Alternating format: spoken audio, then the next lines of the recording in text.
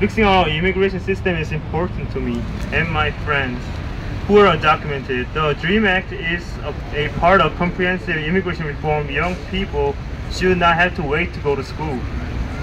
DREAM Act is about education.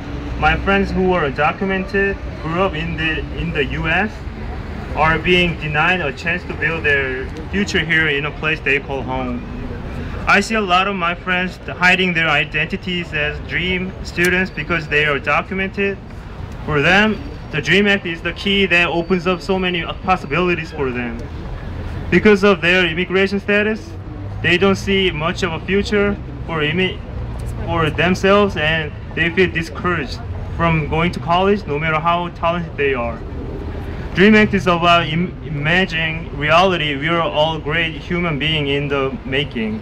Possible doctor, possible lawyer, possible architecture. Let's make the possible real. Join me and my friends. Thank you. That concludes our press conference. Uh, we want to say